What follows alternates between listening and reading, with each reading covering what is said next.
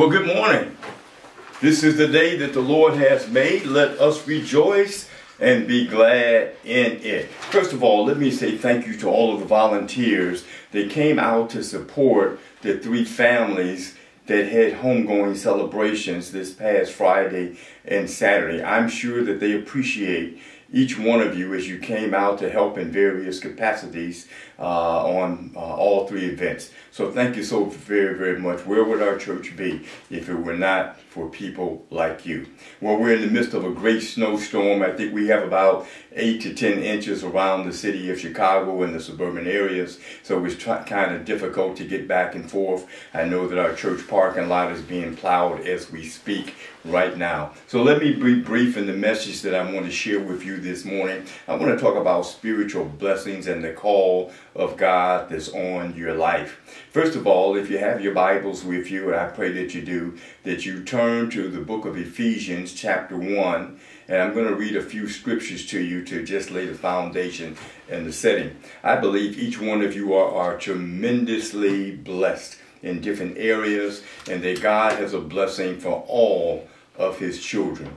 First of all, Ephesians chapter 1, verse number 3, 4, 5, and 6 reads, Blessed be the God and Father of our Lord Jesus Christ, who has blessed us in Christ with every spiritual blessing in heavenly places even as he chose us in him before the foundation of the world, that we should be holy and blameless before him. In love, he predestined us for adoption as sons through Jesus Christ, according to the purpose of his will, to the praise of his glorious grace, with which he has blessed us in the beloved. Well, first of all, as I said, God has blessed all of his children. Whether you see the blessings of God now or whether you see them in the future, you ha must have the assurance that there is a blessing waiting for you. A blessing that's already been pre-established and it's in glory. You've been blessed by God with supernatural spiritual blessings that you have not seen as of yet. These blessings are held in the heavenlies or what the Bible says are heavenly places. There is the earth realm and there's a heavenly realm or spiritual realm. So God has set aside earthly blessings and spiritual blessings for us in the heavenlies. So he has determined when you are to receive those types of blessings. Just because something is in layaway, just because it's laid up in heavenly places, does not mean that they don't belong to you. Each blessing has your name on it. But God determines when he releases that blessings from glory to let you experience it here in the earth realm. Just as God has chosen us in him before the foundation of the world, God has also planned to release these special blessings in his time frame and not ours. Your attitude in life should be a blessing. It should be that I am blessed, highly favored, and the favor of God is on my life. That's the attitude that we should have. That's the attitude that I try to, to, uh, to project and persuade and influence other people to have because even though you may not walk in your blessings today, it doesn't mean that you're not entitled or possess blessings. There will come a time when God will transfer your blessings from a state of concealment to one of revelation and reality, that your blessings will then be visible. You as well as others see the blessings of the Lord overtake you. Wait for that moment. You're going to see your blessings chase you down. And as scripture says, it will overtake you. You will witness the manifestation of the blessings of the Lord. Don't get frustrated. Don't get upset because you don't have what you want right now. Don't get upset or envious of envy uh, of other people because you may see them with material things. You're going to receive the material things as well as the spiritual things that God has allowed allotted to you. There's a scripture in the Bible and it helps me from time to time when I think about how unnoticed I may be today, how people may view me today. There's a scripture that always uh, encourages me, and that scripture is found in Isaiah chapter 53. In Isaiah chapter 53, it makes it plain that what we will become tomorrow is not what we may look like today. 53 and 2 says, But oh, how few believe it.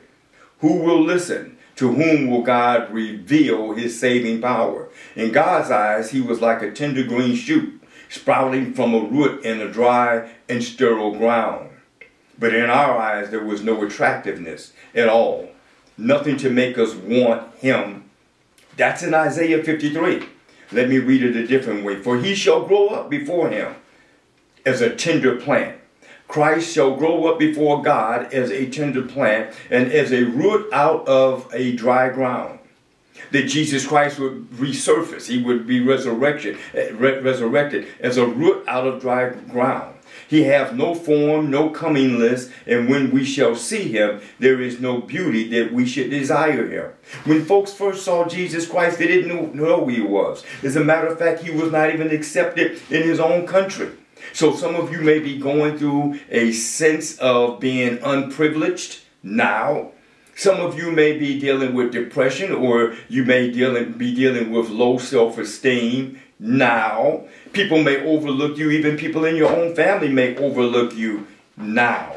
But here's what verse number three says also. He says, We despised him and rejected him, a man of sorrows, acquainted with bitter grief. We turned our backs on Jesus and looked the other way when he went by. Amen. That's how Jesus was rejected, just as some of us may have been rejected. People may, may not realize your full potential today. They don't know who you are going to become. So they may not realize your full potential, but what's important is that you realize your uh, full potential, that you know who you are.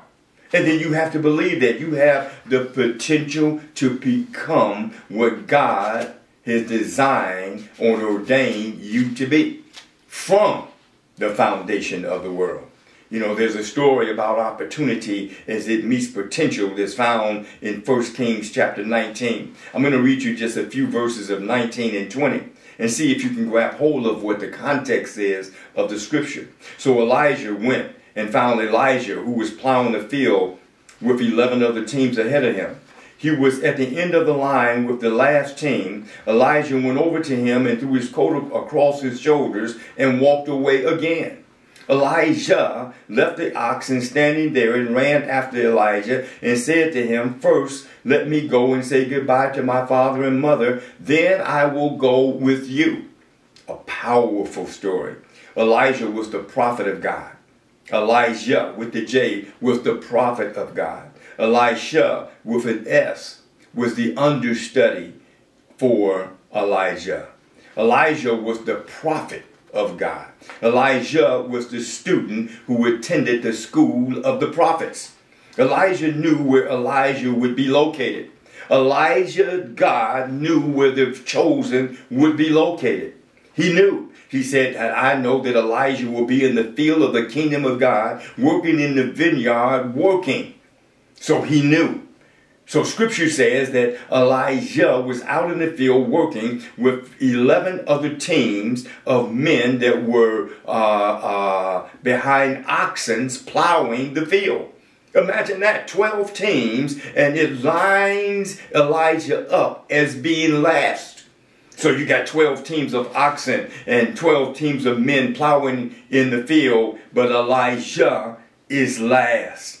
Elisha was the 12th man plowing in the field. He was last in line. I want you to recall Matthew 20, 16. It says, So the last shall be first and the first shall be last. For many be called, but few are chosen. Eleven plowers were called, but only one was chosen. When God's man, God's prophet, when he needed somebody to replace him, he needed that understudy. Who was going to hold the mantle after Elijah? God chose Elisha. Elisha was not concerned about position. He wasn't trying to get to the front. He didn't have any problem with being last. I got a feeling that in the back of his mind, he always knew that God was going to do something special in his life. That's our message to you this morning. God's going to do something special in your life. Don't rush to get to the front of the line. Normally, when people get to the front of the line, when it's all said and done, they end up in the back. They end up last. And those that are humble, humble themselves.